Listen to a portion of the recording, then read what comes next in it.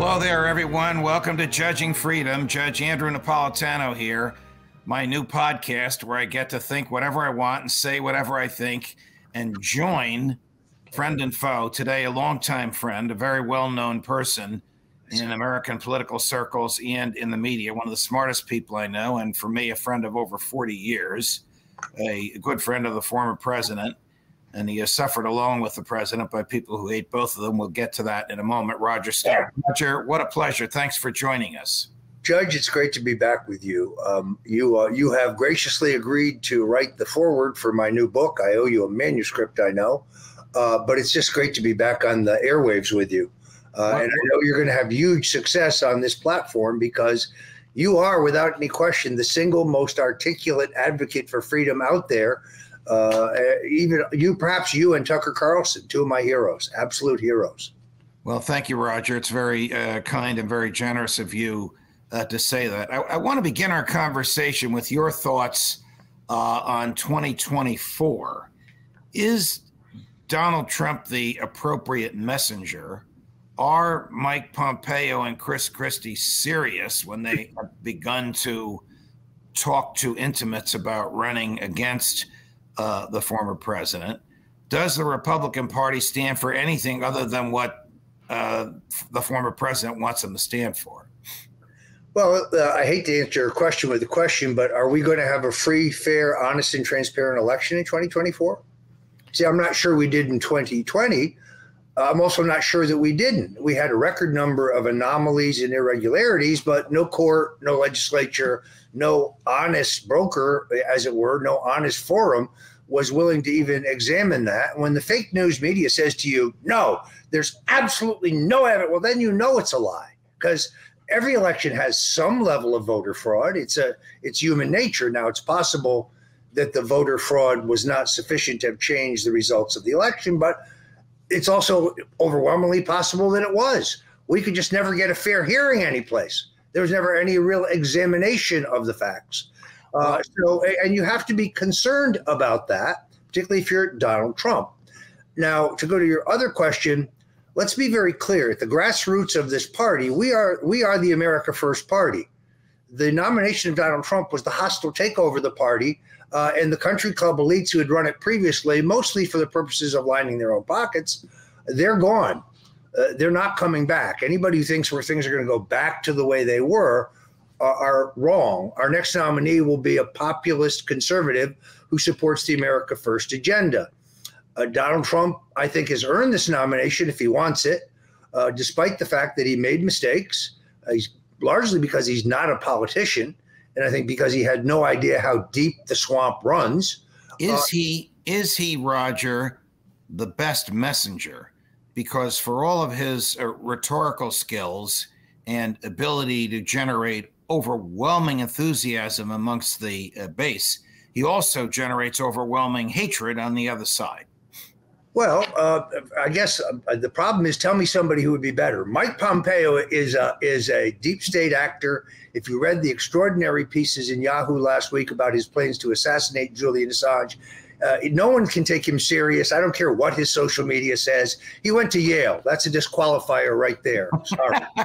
All right. He also went. He also went to West Point, and it's it's funny you should say that. And I'm glad you raised the issue of Assange. Was it uh, Pompeo who was the head of the CIA at the time they concocted the plans to murder Julian Assange? Well, according to the, the piece I wrote read last week in Yahoo, now Mike Isikoff, who is himself a Russian asset, or I should say, is himself an intelligence asset, not a reporter, a guy who pushed the Steele dossier relentlessly.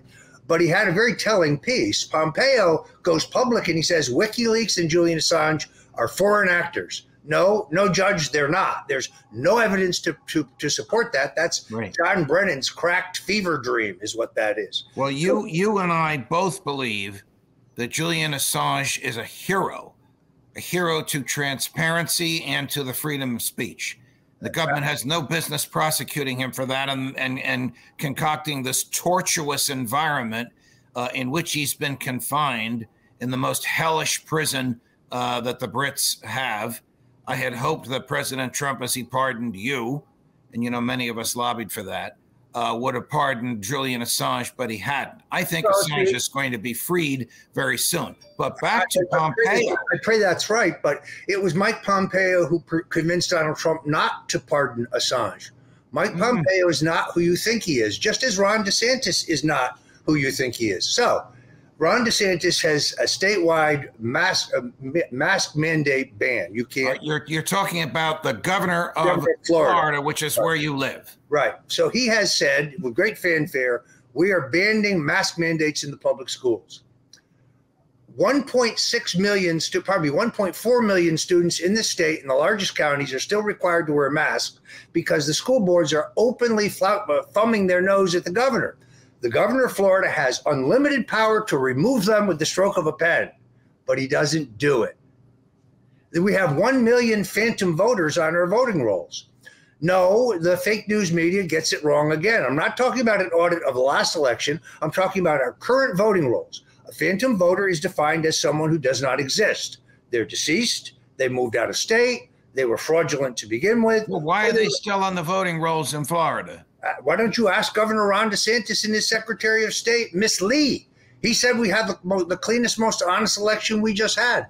I don't think so. Okay, I want to get back to uh, Pompeo. I, yeah. I, I, fully agree with you on all of this, as you know, and I, I agree that Mike Pompeo, as charming and articulate as he can be, is is heavily uh, front and center, or not front and center, because it's below the below the radar, uh, in uh, in the deep state. Why would he have concocted something and why would it have been leaked that he was planning to murder uh, Assange?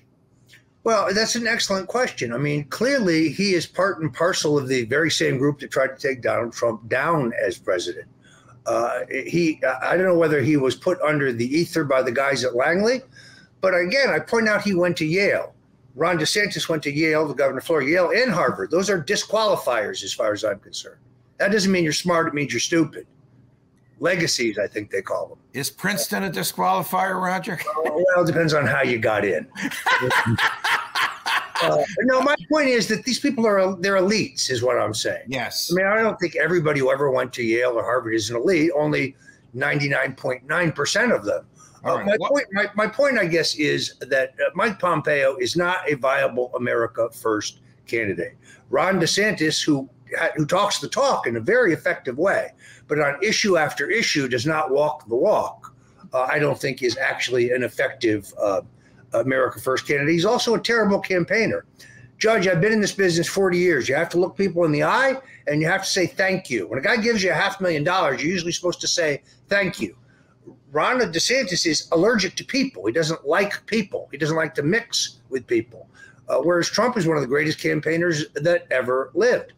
So, uh, who, who, else? Former, who the former governor of New Jersey, whom you and I know, Chris Christie, yeah. is telling friends that he has uh, each of his feet in the two camps: the pro-Trump part of the Republican Party and the anti-Trump part of the Republican Party, and that he is the only human being, or the best human being, to unify those two wings of the party and to present a competent populist message that will appeal across the board. Do you buy this? Well, first of all, it's very clear to me that Governor Ron DeSantis is taking dietary tips from Governor uh, Christie at this point. uh, Roger. Uh, but, second, but secondarily, uh, that's a joke. I mean, first of all, he has a failed governorship. He most certainly can't carry New Jersey today. You could speak to that better than I do. His right. book, his book attacking Donald Trump demonstrates the level of his disloyalty. Loyalty is the most important thing you have in pop, in politics or in life for that matter. Chris Christie uh, has, I have a better chance of being the Republican nominee than Chris Christie. Um, you, you and I have always been looking at Republican nominees from the libertarian side of them. Is there any libertarian on the scene? Maybe not as libertarian as, as Ron Paul, but do any of these people have a libertarian streak within them that would draw you and me and a lot of the people watching us now, Roger? you know, it's very sad. If I could just wave a wand, I'd make Rand Paul, president. He would be on policy. He would be an excellent president. He, he, completely understands the deep state and the intelligence agencies and the and the national security apparatus. He understands the generals in the Pentagon and their desire for endless war regardless of uh, of whether our inherent national interests are present. I mean, my politics, I guess, would be closer to his than anyone uh, in the country. I don't think in the television age, uh, just like Chris Christie is not uh, a television candidate, unless you got one of those big screen TVs, I guess. Uh, I don't think that uh, Rand Paul, uh, you know, is a candidate for the television age. Now, Rand Paul would be a superb vice president, uh, and that's kind of where I'd go if I were the Republican nominee. Uh, I don't see anybody else in this list of, of, wannabes who can generate the kind of enthusiasm, the kind of money, the kind of, uh, of momentum that Trump can do. Is Trump polarizing? Yes, but there's not a candidate we can nominate who won't be polarizing if they're running on a conservative agenda. I think that uh, Rand Paul um, generated a lot of goodwill uh, amongst conservatives and libertarians for the thrashing he gave to Dr. Fauci. I mean, perhaps only another physician could talk the talk the way he did, but but well, Fauci is, was bloodied and bowed, in my opinion, when Rand, uh, Senator Paul was finished with him. This is a matter rather close to my heart. What was I charged with, Judge? Lying to Congress, despite the fact that no misstatement I made to Congress was either material or relevant or hid any underlying crime. Yet Dr. Fauci lied before Congress. Rand Paul called him out on it. Fauci actually called him a liar, called a member of the U.S. Senate a liar, when it's very clear, based on the documents released several days later by NIH, that it's Fauci who is a liar. So here's my question for you When will 29 heavily armed FBI agents wearing full SWAT gear and night goggles surround his home at six o'clock in the morning to take him into custody for the first time nonviolent, well, in his case, probably second time nonviolent crime of lying to Congress. You are, re- you are referring, you are referring, of course, or alluding, of course, to the Gestapo tactics that were used to arrest you. Your case has a happy outcome, but you suffered egregiously for having done nothing, un, in my view, whatsoever unlawful but Bob Mueller uh, and crew sent an army, including a, a, boat and two helicopters. Oh, and by the way, a CNN camera crew, along with the 29 heavily armed um, uh, SWAT team uh, personnel to arrest you, even though you, they knew who your lawyer was, they knew where you lived, they knew you're nonviolent, you have no criminal record, you didn't have any weapons. All they had to do was say to your lawyer, Mr. Stone's going to be indicted. Can can he visit us tomorrow? But instead, they put on this big show. Well, well your point is that that would never happen to well, Dr. Fauci because he's part of the elite, uh, exactly. the same mentality that went after you. Here's the other part that, Judge, I don't think even you know. On November 3rd, 2020, this past election night, at midnight, Strange time to put out a press release, don't you think? The U.S. Justice Department, by court order, had to release the last remaining unredacted sections of Mueller's report regarding May. And it said that they had found, quote, no factual evidence, close quote, of involvement in Russian collusion, WikiLeaks collaboration, or the uh, theft and publication of John Podesta's emails. Mueller further opined that even if they had found such evidence, which they didn't, they had concluded that none of it would have been illegal. Wow. So I did not know this, nor did I see this anywhere in the media. You're talking about two days ago. Uh, no, this would have been the election, the presidential election, the day oh, of the. You're talking about a year ago, and I didn't right. know this. Well, don't look for it at CNN. Don't search for it in the archives of the New York Times or the Washington Post. It was it was carried precisely by two outlets, BuzzFeed, who brought the lawsuit that disgorged these documents, and even they had to admit that I was quote vindicated, and the Washington Examiner. No other publication in the country carried this news. It is indeed entire uh, uh, vindication on my part. But the news outlets who for two years said I was a traitor, a Russian spy, a collaborator with the Russians, none of them bothered to oh, correct. you, you, were, you, were, uh, convicted um, of lying to Congress in a profoundly unfair trial with a jury four person who was convinced of your guilt prior to the start of the trial. We know that from her emails. Presided over by a judge who hated the president, hated you, and hated many of the people that uh, uh, are, are colleagues and friends of the two of you. The, the president, in a constitutional act of mercy, uh, pardoned you. When the Biden administration came into office, obviously they weren't happy with the pardon. What did they do to you? Have they brought litigation against you? Yes, they actually have filed a civil action against my wife and I regarding our 2007 and 2008 taxes. Wait a minute, uh, 2007 and 2008. Yeah. Yes. Talking about 14 years ago. Yes, absolutely. Because you see, they bankrupted me. I had to pay for my legal defense, and therefore I had to stop making payments on my past taxes. I paid them a half million dollars in the months prior to my trial. But at some point, I ran out of money and I had to stop making payments. Uh, so, uh, but the most disappointing thing about my trial was the fact that Steve Bannon was the government's chief witness against me and that he perjured himself at my trial. If you compare his sworn testimony before the House Intelligence Committee and his sworn testimony on the stand at my trial, he's asked the exact same question Did you communicate with Roger Stone regarding WikiLeaks or Julian Assange in 2016? Before the House committee, he says, no, never. Before the before my trial, he says, in every telephone conversation we had, we considered we considered Stone our liaison with WikiLeaks. That's perjury. Even Jonathan Turley, who read both transcripts, uh, concluded that he had to have lied one place or the other. Now, remembering that I was charged for what?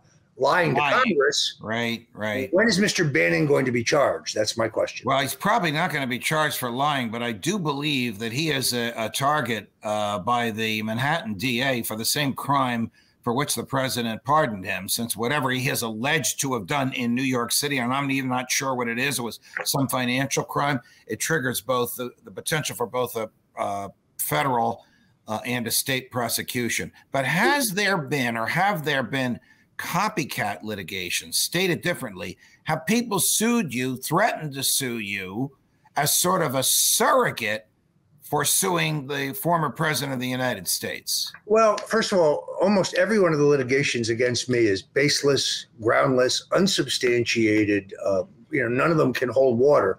Again, they're not legal pleadings; they're press releases.